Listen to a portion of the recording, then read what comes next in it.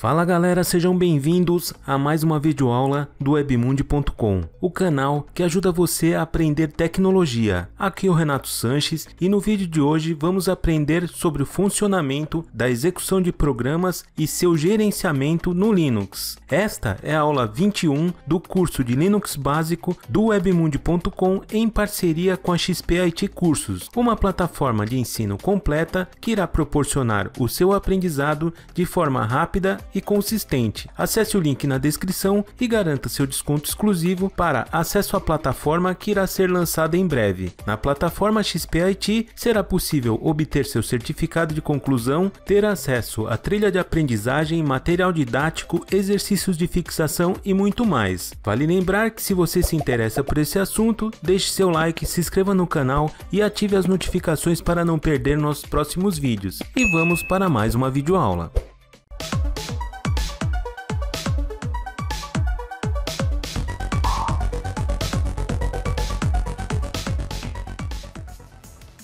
Ok, estamos de volta e este é o conteúdo que vamos abordar na aula de hoje. Vamos falar um pouco sobre como funciona a execução de programas no GNU Linux, aprender o que é o PF, tipos de execução, sequenciamentos de comando e aprenderemos a utilizar algumas ferramentas de controle de execução de programas como o PS e o TOP. Para que seja possível praticar o conteúdo apresentado aqui, é importante que você tenha um ambiente Linux instalado. Caso você não tenha, em nossas aulas e módulos anteriores, aprendemos a criar o nosso laboratório de estudos com o Linux Mint e o Linux Ubuntu. Recomendamos que você assista esses vídeos, monte seu lab para facilitar o seu entendimento e praticar e aprender conosco.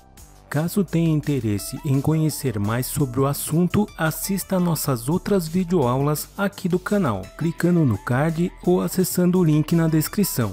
Outra dica bacana é que você pode mudar a velocidade deste vídeo para mais rápido ou mais devagar conforme a sua necessidade. Acesse no player do YouTube a opção detalhes, o ícone da engrenagem e depois a opção velocidade de reprodução e escolha a velocidade desejada. Vamos agora entender como funciona a execução de programas dentro do Linux. No decorrer do nosso curso, por diversas ocasiões executamos diversos comandos e programas no Linux, mas não entramos em detalhes sobre como funciona este processo. E agora chegou a hora de entender com um pouco mais de detalhes como funciona isso nos bastidores do sistema operacional. Para facilitar o entendimento, vamos fazer um paralelo com uma situação cotidiana, que é o funcionamento funcionamento da portaria de um edifício e o Linux. O comportamento é bem parecido como vamos ver. Caraca, Renato, nessa você viajou.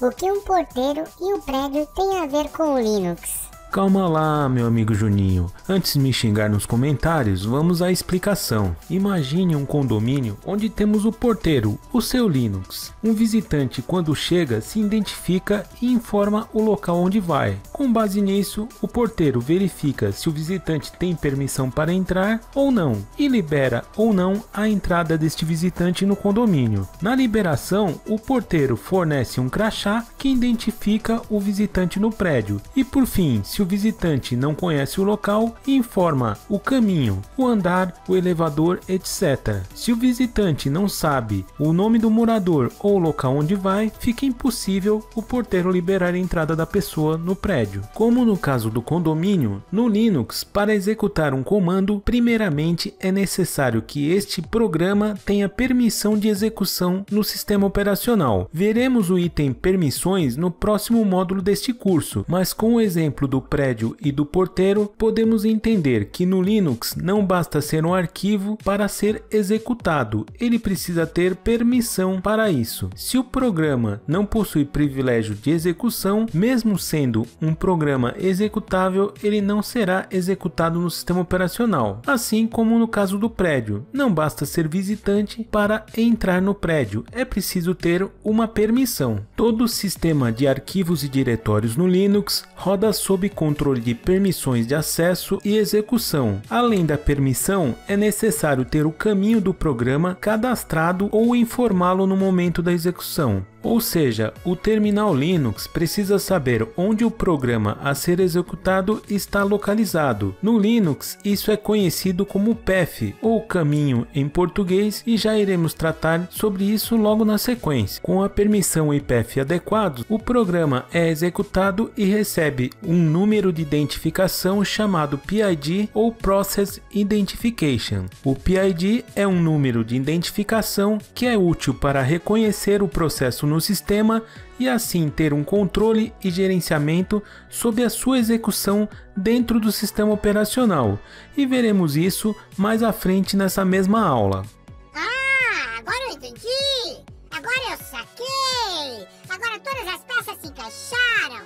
Eu estou entendendo tudo agora! Agora que você já sabe que um programa no Linux precisa ter permissão para ser executado e que recebe um PID ou Process Identification para ser identificado, vamos entender o que é o path e para que ele serve. O path é uma variável de ambiente no Linux que armazena o caminho de busca dos arquivos ou comandos executáveis. Basicamente, o path serve para que um programa ou comando possa ser encontrado no Linux. Quando você digita um comando ou programa no terminal do Linux, tudo que você está fazendo é dizer ao sistema operacional para executar este programa. Mesmo comandos simples como ls, pwd, ru e diversos outros, ficam dentro de um diretório do Linux, que no caso é o sr/bin, que está cadastrado na variável de ambiente path. Também existem outros locais do sistema que armazenam programas executáveis, como por exemplo o sr/bin, o sr/sbin, o sr/local/bin e local/sbin. Então vamos aprender a consultar os diretórios cadastrados na variável de ambiente path. Para consultar o que está no path do Linux, vamos abrir um terminal e digitar o comando echo $path em maiúsculo, conforme em tela, e veja que ele exibe o seguinte resultado. Repare que os diretórios que falamos anteriormente estão cadastrados no path e são separados por dois pontos. Porém, um programa executável Linux pode ficar em praticamente qualquer lugar de seu PC. Ele não precisa se limitar a esses diretórios você pode instalar ou criar programas ou scripts em outros locais do seu PC Linux. Para executar o programa, você pode adicionar o diretório onde está o programa na variável path, ou se preferir, terá que informar a localização exata do executável no terminal. Então vamos aprender na prática como se faz este processo de forma completa e detalhada. Primeiro vamos criar o arquivo de script shell, que é um tipo de programa executável no terminal do Linux. Depois vamos inserir o diretório deste script na variável de ambiente path. Assim você irá conferir na prática todo o processo da teoria apresentada até aqui nesta aula. Então vamos no terminal do Linux e digitar alguns comandos.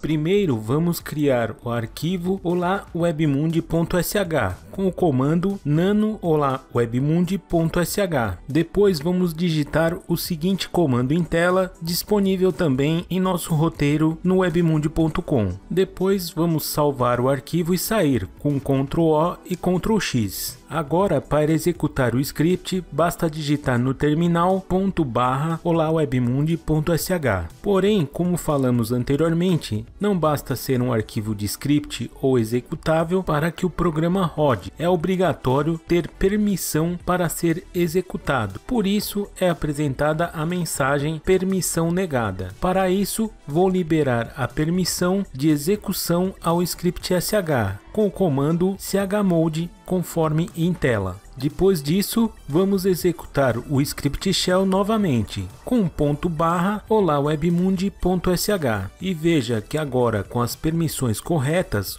o comando executou sem problema e a mensagem Olá Webmundi foi apresentada no prompt do terminal. Vamos agora testar o path ou caminho. Para isso, vou mudar o diretório corrente para downloads com o comando cd downloads. Agora vamos tentar executar o mesmo script shell, digitando ponto barra olawebmundi.sh ou olawebmundi.sh e veja que obtive um erro, arquivo ou diretório inexistente. E por que este erro ocorre? A mensagem de arquivo ou diretório inexistente ocorre pois quando se digita um comando no shell, o Linux não busca o script olamundo.sh em todos os diretórios do sistema operacional. Se caso o Linux fizesse isso, a performance de execução de comandos no terminal seria comprometida, pois a cada execução de comando no shell, isso iria demorar uma busca completa no sistema. Por isso, o Linux pesquisa executáveis somente nos diretórios especificados ou cadastrados na variável de ambiente path. O shell do Linux sempre verifica esta variável para buscar arquivos executáveis do sistema. Se o arquivo não é encontrado nestes locais, algum tipo de erro é apresentado,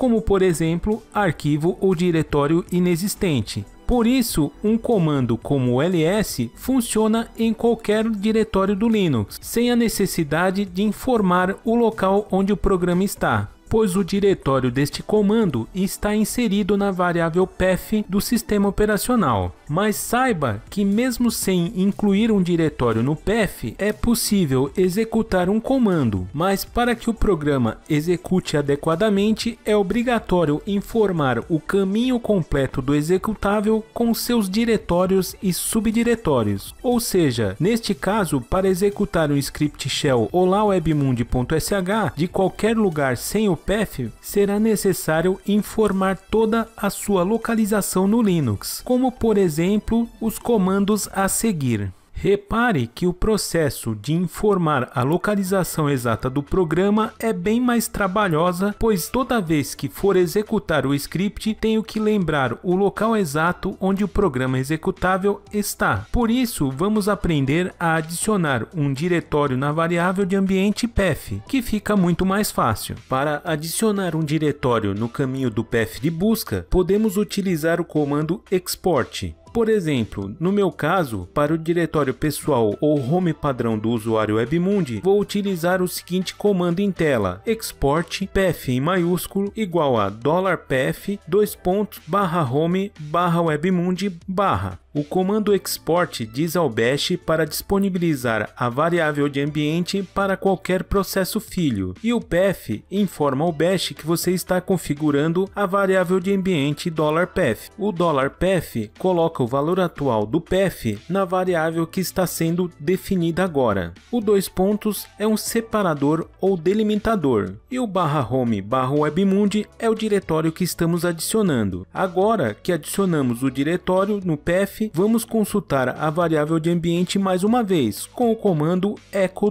$path. Repare que agora o diretório que adicionamos com o export está cadastrado e o terminal do Linux irá buscar executáveis neste local quando executar um comando no shell. Então vamos executar o nosso script olawebmundi.sh a partir de qualquer local do Linux, bastando digitar o seu nome olawebmundi.sh. Com isso, o script shell funcionará funcionará a partir de qualquer diretório do Linux. Agora, um detalhe importante sobre o uso do export Linux. O uso da exportação ou do export funciona muito bem para uma alteração temporária na variável de ambiente. É importante lembrar que as alterações utilizando o export não ficam disponíveis se fecharmos o terminal ou abrirmos um novo shell. O comando export apenas disponibiliza o caminho para o shell atual e os seus processos filhos. Em um curso mais avançado, avançado, veremos como efetuar a alteração da variável de ambiente path de forma definitiva. Por enquanto, por segurança, é melhor utilizarmos o export.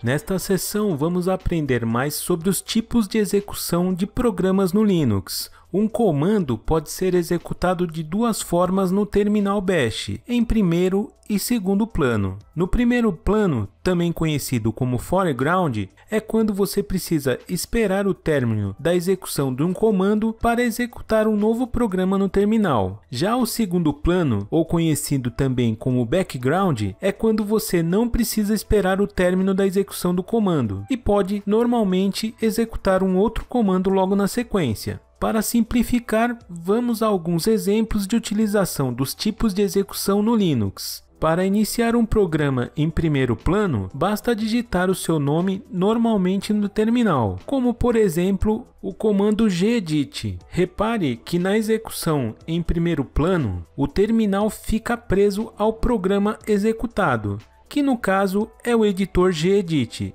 ou seja, não é possível digitar nenhum comando no terminal até que o gedit seja finalizado ou fechado. Já na execução em segundo plano, isso não ocorre como vamos ver. Para iniciar um programa em segundo plano, acrescentamos o carácter e comercial ao final do comando. E vamos ao mesmo exemplo do gedit vou digitar gedit espaço e comercial. Quando se inicia um programa em background, o Linux fornece o PID ou identificação do processo, liberando o uso normal do terminal do sistema. O programa executado em background continua sendo executado internamente no Linux todo programa executado no Linux, seja foreground ou background, se torna um processo no sistema identificado com um PID. Em alguns casos, após um programa background ser concluído, o sistema retorna uma mensagem com o PID do processo e status de conclusão. Repare que executando o gedit em segundo plano, o terminal fica liberado também para que eu possa digitar outros comandos. Uma característica importante importante sobre executar programas em background é que se o usuário fechar o terminal, o programa em background também é finalizado. Caso queira evitar este tipo de comportamento, podemos utilizar um comando para desanexar o terminal do programa executado em background. Para isso, utilizamos o comando disown. Este comando desvincula a execução do comando em segundo plano do shell do Linux. Para executá-lo, primeiro envie a tarefa em segundo plano com o operador e comercial no final. Depois, digite o comando disown. O benefício benefício do comando disown é que o sistema não irá encerrar o programa de background quando você fechar o terminal. Os comandos também podem ser executados em sequência no terminal do Linux, ou seja, um após o término do outro. Para isso, basta separarmos os programas com ponto e vírgula, como este exemplo com o comando echo e este outro com o echo e utilizando comandos do Linux, como o ls, o ru e o pwd.